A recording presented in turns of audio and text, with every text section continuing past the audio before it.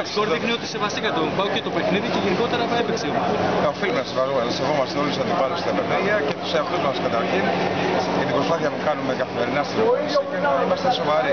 Δεν το ζητάω και σήμερα ε, το παιδί- τα παιδιά το κάνανε. Απλά ε, κάποια πράγματα στην άμυνα στα 6 γκολ, τουλάχιστον τα δύο από το Λαμπιστό δεν επιτρέπεται να τα τρώμε. Είναι δύο γκολ που απαγορεύεται σε ένα παιχνίδι να τρως γκολ από το Λαμπιστό όταν έχεις τόσες λύσεις και θες να παίξει πιο ψηλό επίπεδο.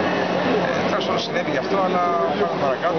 Προετοιμαζόμαστε αρκετά και περιμένουμε να δούμε τη συνέχεια κυρίως την κλήρωση και να δούμε τον αντίπαλό μας για τις 9, 9 Μαρτίου. Με Μουρίκη τι συνέβη; Ο Μωρίκης έκανε ένα αρχικό παράπλωμα και είναι τιμωρημένος από μένα. Ήταν τιμωρημένος από μένα. Για, για αυτό το παιχνίδι, για αυτό το παιχνίδι. Γι' αυτό σίγουρα, τώρα δεν ξέρω. Στη συνέχεια θα δούμε.